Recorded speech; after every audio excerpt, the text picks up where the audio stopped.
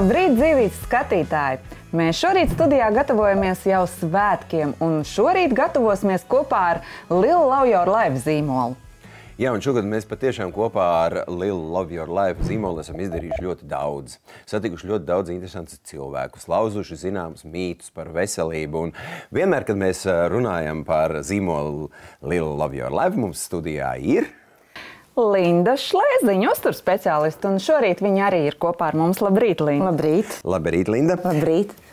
Saki, lūdzu, vai tavā mājā arī vienmēr tiek uz Ziemassvētkiem ceptas piparkūks? Varbūt tev ir pilnīgi citi tradīcijas. un Nē, nē, piparkūks mēs cepam šogad vēl, pateicoties agri tam, ka bija pirmais sniegs, pat jau pirms adventas jau cepām. Tev es lūkšu padalīties ar kādu varbūt īpašu recepti, kas mums svētkos būtu derīga un nepieciešama. Jā, man ir tāda recepte, bet tāda ļoti liesa un tāda iemīļota recepte mūsu mājās ir tīri kā sutināta kāpostas, un tas ir ļoti, ļoti veselīgs un arī gards veids tīri apelsīnu sulā. Ar apelsīnu Ar sulu. apelsīnu sulu Jā, kāpostus. jā apelsīnu sulā mēs sutinām kāpostus, pieliekam svaigu apelsīnu klāt, brūno cukuru. Mēs vienmēr, um, nu, es domāju, ka pārsvarā mēs uh, sakām viens otram, nu, lai mums jaunā gadā būtu veselība. Un, un tas ir, liekas, ka viens no tradicionālākajiem sveicieniem, ko var būt novēlējumiem. Un pareizāk. noderīgākajiem, Un, un, protams, arī godīgi.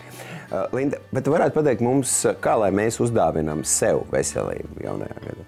Sev veselību jaunā gadā, protams, ar vienu no sadaļām ir šis te veselīgais uzturs. Jā, protams, ar lielu zīmola produktiem. Piemēram, astaksantīnu sievietēm, kas sākuši uzsaukt, uztraukties par krunkām, tad, piemēram, liela imunap. Tas varētu būt, piemēram, cilvēkam, kas par spīti slimībai tomēr dodas uz darbu un dara sev tādā veidā pāri veselībai.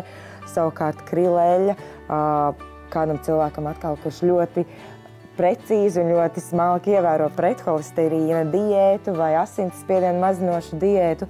Tiem derētu atkal kāds no krilēļas produktiem. Zīmols uh, Liela Love Your Life uh, sākās ar krīlu eļļu. Un ir uh, ļoti dažādi šie te produkti tagad krīla eļļai, bet varētu lūdzu izstāstīt, tu jau vienu pieminēji, kāda viņi ir vēl. Jā, kopā ir septiņi krila eļļas, līnijā septiņas krila eļļas. Un ar to liels zīmols ir ne tikai pirmais, kas iepazīstināja vispār latviešu, ka jā, omega-3 augstskābes var uzņemt arī ar krila eļļu, bet arī pašreiz pati garākā krila eļļas līnija ne tikai Latvijā, bet arī Eiropā un arī pasaulē. Un tur ir gan tīrā krila eļļa, kas ir tīrais krila eļļa lipīda ekstrakts, tas ir ā, gan bērniem, gan pieaugušiem. Un ir arī vairākas bagātinātās krilēvis, tātad ar B grupas vitamīniem. Tur vairāk ir auditorija tiešām seniori, cilvēki ar hroniskām arī saslimšanām. Tad ir krilēļa, kas ir bagātināta ar D vitamīnu. Tas ir gan bērniem, gan pieaugušiem, gan arī krilēļa, kas ir bagātināta ar anšoveļu. Lindiņ, tu piekritīsi noteikti, ja teikšu, ka vecāki par saviem bērniem, par viņu attīstību un veselību var rūpēties, uh, bagātinot viņu uzturu ar omega-3 augstskābēm. Jā, un arī par to, ka krila eļļa un omega-3 augstskābes bērniem ir nepieciešams pat vēl vairāk nekā pieaugušiem, par to mazāk runā. Bet bērniem ir vajadzīgs gan centrālajai nervu sistēmai, gan smadzenēm, gan arī redzes attīstībai. Ļoti, ļoti svarīgi ir, ja bērni nē dzīves un ieņem pozu, ka dzīves tas nav viņu produkts. Šīs augstskābes uzņemt ar papildu, ar krila eļļu. Bērniem ir domāt gan krila eļļa kid, kur ir bagātināta ar D vitamīnu, gan arī pats jaunākais produkts, kas ir liela krila eļļa žēlēs lācīšos. Tagad Linda un Normanda es jūs uz mirkli pametīšu, jo pie mums viesos ir Rinalds ar ģimeni, un viņi ļoti rūpējas par savu dēliņu veselību. Došos ar viņiem aprunāties, un starp citu, viņi bija mūsu dzīvītas viesi arī pirms gada. Kā viņiem gājas, tūdēļ skatīsimies. Labrīt! Labrīt. Labrīt. Drīkst jūs šodien, kā jau svētku reizē, pacienāt ar piparkūkām? Lūdzu, Rāvī. Lūdzu. Ņem viskaistāko. Zinu, ka jūsu ģimenē jūs um, Ralfiņam dodat uh, omega-3 augstskāpes tieši kādas. Mēs dodam tieši krilēļu bērniem, krilēļu kīti. Un viņš īstenībā labprāt arī pats viņu ēd. Viņš zina, kas ir garšo. kapsuliņa, jā. Un viņš gaida, un tad mēs iedodam, un viņš jau pēd mierīgi. Tā kā nav nekāda problēma. Rinalda, jūs esat liela oficiālie pārstāvi internetā. Jums pieder internetu veikals.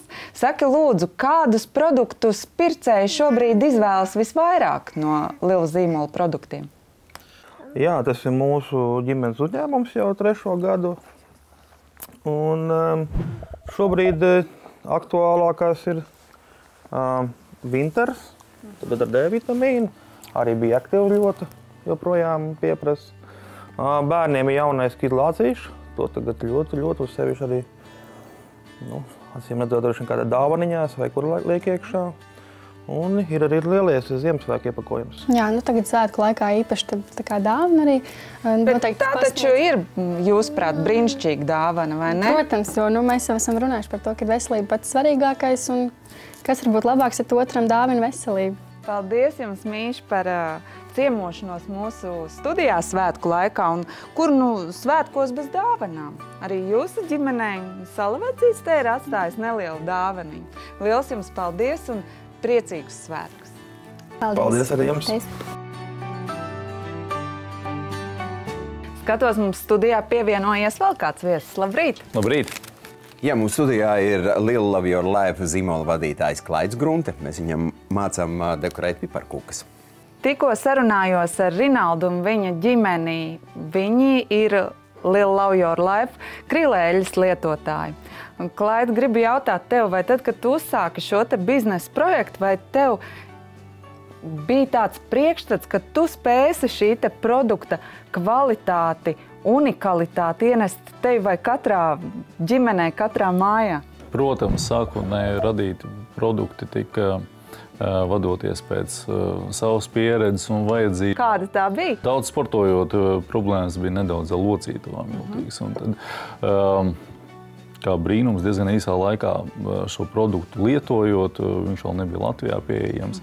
Um, Tika panākts diezgan ātrs efekts, un tad tālāk sāka interesēties par šī produkta vēl papildus iespējām. Un, un uh, patiesībā atklāja, ka viņš ļoti eks ekskluzīvs un unikāls produkts. Klaida, kas tad uh, ir mm, šī produkta, pirm, visu produktu sastāvā? Esmu dzirdējis, ka tie ir ļoti dabīgi. Linda mums par to ir raidījumos stāstījusi. Šis produkts ir. Nu, Jā, viņš ir, viņš ir pilnībā dabīgi, bet šeit ir tā, ka šim produktam ir eh, interesanti tas, ka viņš ir pierādāmi dabīgs. Mm. Viņu nevar nekā savādāk iegūt, kā tikai dabīgā veidā. Tieši šādā dabīgā veidā arī pasniegt mūsu pircējiem. Krila eļļa, protams, ir pilnīgi dabīga. Tas ir skaidrs un noskaidrots, kā ir ar uh, produktiem Astaxan un Imunap. Imunap ir dabas dots spēks, eh, spēks imunitātei, no kuras sastāvdaļā ir arī septiņi dabīgi auga ekstrakti. Produkts Astaxana ir eh, produkts, eh, ar kur pamatsastāvā ir astaksantīns, naturāls mikroēļņas. Un šobrīd Latvijā spēcīgākais antioksidants. Tad uzreiz rodas jautājums, kā tad zīmolam ir klājies gada laikā? Uh, ļoti labi. Uh, joprojām uh, ar saviem produktiem esam arī šogad līderi savā produktu kategorijā. Tā kā esam lepni un, un ceram uz perspektīvu nākotni. Ko tu pats lieto? Ikdienā, godīgi, es lietoju visus savus produktus. Varbūt ne visas skrilēļas, eh, tad es skatos eh, pēc vajadzības. Uz rudeni eh, tādu jauno produktu imunāpu, teiksim, arī tas ir jau profilaktiskā veidā par divām kapsuliņām. Un, nu, viss kārtībā, augstēšanās. Es gribēju, es gribēju prasīt, augstējies esi vai neesi rudenī. nu, nestīsim tur tādus vīrusus, bet vienkārši parasti. ne vīrusus. Godīgi. Godīgi. Pat ne vīrusus, un neskatoties to, ka atsāk kaut kādas jaunas sporta veidus, kas, kas uh, iespējams ar šo imunitāti mazliet pasit uz leju, uh, viss ir kārtībā. Tiksimies pēc reklāmas pauzes, un tad mums studijā būs kāds viens ļoti interesants, temperamentīgs viesis.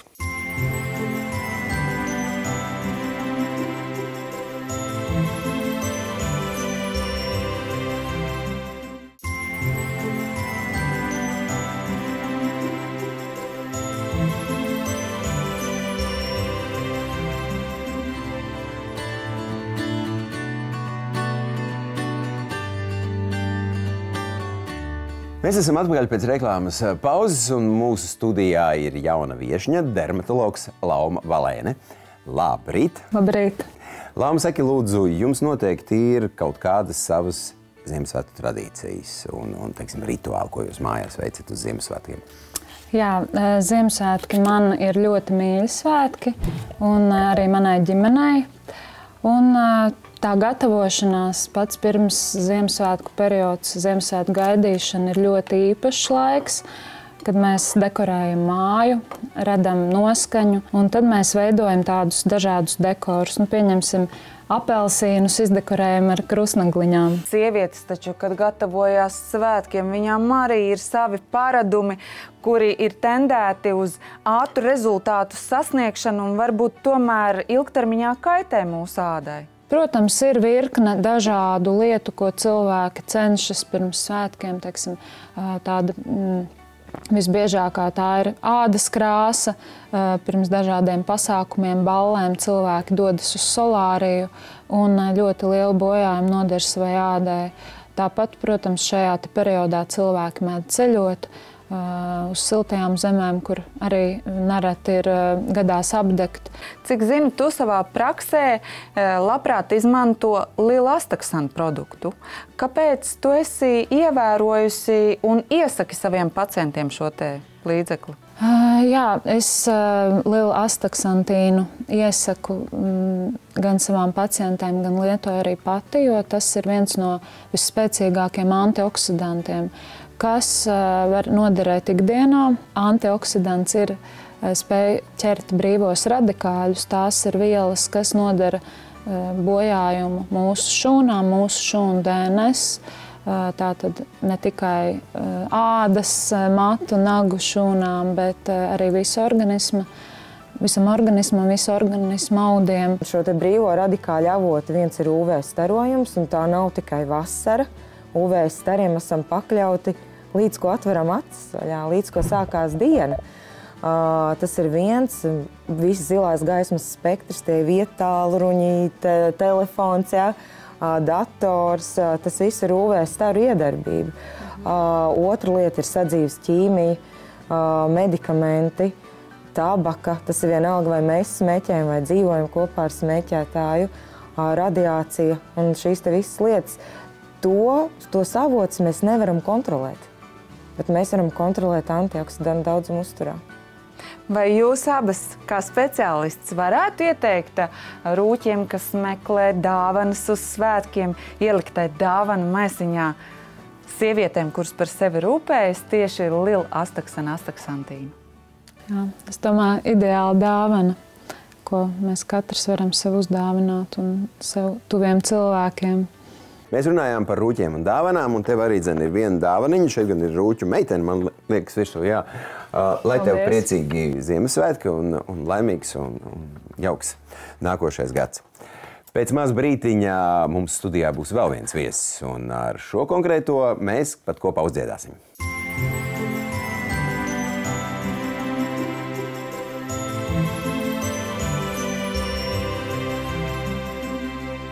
Pie mums šorīt viesos tiek gaidīts pats Roberto Meloni. Vai cik labi dzīvo! Labrīt, Roberto! Čau! Es jau domāju, ka jūs pateiksiet dzintara čīča. Bet gandrīz ir.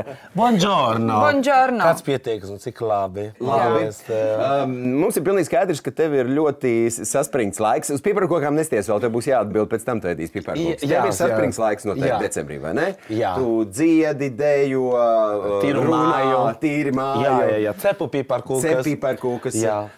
Esi tikpat pozitīvs un, un enerģisks kā šorīt. Pastāsti man, kā tu tiec pie šīs enerģijas, kā tu viņu saglabā. Un nelaid klāt galvenais nevienu bacilu, kurš tev varētu to enerģiju noņemt. Pirmkārt, man daudz ir man liekas, no dabas. Jo mana mamma ļoti centās, ka esmu piektais bērns, un mana mamma ļoti centās. Es piedzimu, kad viņa bija 39 gadi. Līdz ar to Tas ir ārkārtīgi pozitīvs. Jā, ārkārtīgi tā, pozitīvs. Otrakārt, es satiekos ar cilvēkiem, kā, ko tu tur dari?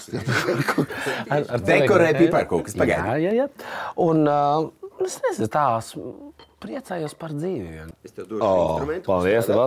Saules krāsa. Tad tev tieši. piemērs, kā to darīt, ja? krāsot. Roberto, Sībela. es zinu, ka tu esi liela imunaplietotājs. Vai varētu teikt, ka tas ir tāds tavas veselības un enerģijas viens no stūrakmeņiem tomēr arī? Es ne tikai varu teikt, bet es, es varu vispār apgalvot to. Jo uh, tīpaši, kad ir ziema, kad ir uh, ļoti saspringts uh, laiks un arī ļoti augsts un saule nav. zini Kā, Latviešiem jau tas ietekmē, bet uh, itāļiem vēl vairāk. Līdz ar to, jā. Arī garā stāvoklis ir tāds, kā ir. Un, uh, zinot mūsu darbu, ka vienmēr ja tomēr jābūt labam garā stāvoklim, ļoti viegli ir uh, ziemā un uh, arī rudenī laika pa- paķert uz vīrusus, kas ļoti um, viltīgi lidoja pa visu, pa visu pa gaisu. Ja? Un viņi redz itāļus, vai, vai laba gaļa. Un tad viņi lido.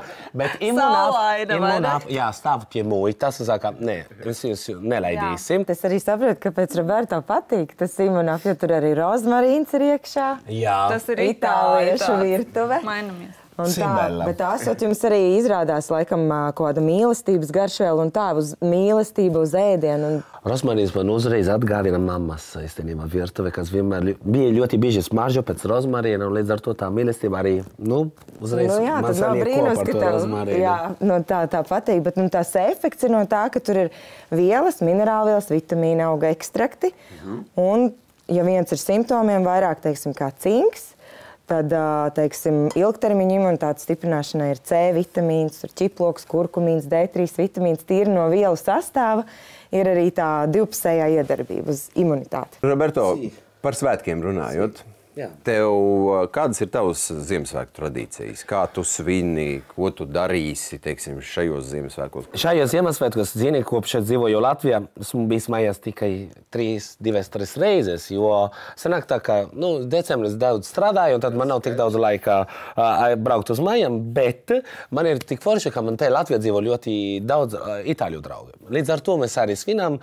Uh, nu, tā, zini, tā kā, tā kā, tā kā visi. Viņi man kā pie sevis, tā kā ģimene. Un uh, man ir tik ģimeniski, ļoti mierīgi, silti un arī dziedoši. Mēs dziedam pie eglītes, un uh, jā, jā, jā, ir dāvanas. un tā- Roberto, tā- es gribu uzreiz lūgt tev, varbūt kādu īpašu Ziemassvētku dziesmu. Tādai. Astro del ciel, pargol divin, mi de agnello redentor, tu venuto a scontare l'error, tu che angeliche voci annunziar, luce dona alle menti, pace infondi nel cuor. Tātad, pirmkārt, sagatavojies, tev būs jāsaka apsveikums arī dzēn, bet vēl ne, vēl ne, vēl ne. Vēl ne. E, mēs tev uzdāvinām uh, vienu dāvaniņu. O, nu, īsti Noteikti vari minēt, kas tur ir iekšā. Jā, priecīgs tev Ziemassvētkus. Paldies! Un uh, cienījamie skatītāji, kamēr uh, Roberto priecājās. Uh, Tātad Lielam zīmolam ir ļoti daudz produktu, un šogad arī dzen, tieši imunapa nāca klāt kā ļoti labs produkts. Un es domāju, ka, lai mums būtu priecīgi svētki, mēs būtu veseli un tikpat enerģiski kā Roberto, noteikti ka kāds no zīmola Liela Love Your Life produktiem varētu būt dāvana šajos Ziemassvētkos un jaunajā gadā. Un, protams, nākamgad visu gadu jūs viņus varat lietot, lai jums būtu spēks, imunitāte. Skaidrs ir viens, ka ne tikai uh, Liela Love Your Life uh, produkti būs dāvana, bet arī kāds silts novēlējums noteikti būs svētkos kā dāvana. Vērtīgākās lietas es uzskatu, ka tas arī ir pamatlietas dzīvē. Līdz ar to vienmēr jādomā, jārūpējas gan par sevi, un gan arī par cilvēkiem, kas tev ir apkārt. Un, Ziemassvētku ir ļoti īpašs un silts laiks, ja, kuram uh, varbūt arī sāki domāt uh, arī par tojiem cilvēkiem, bet arī cilvēkiem, kuriem ir īpašas vajadzības. Es ļoti novēlu, lai mums uh, Ziemassvētki būtu katru dienu, lai mēs tiešām uh, domātu par saviem uh, tuvajiem cilvēkiem, cilvēkiem, kuri mēs ļoti mīlam un kuri mīl mūs. Tā kā lai jums priecīgi svētki un lai katru dienu jums būtu svētki. Es domāju, Normund, mums ar tevi atliek uh, tikai pievienoties brīnišķīgajiem šī rīta viesu novēlējumiem. Pilnīgi piekrītu. Tiekamies atkal rīt!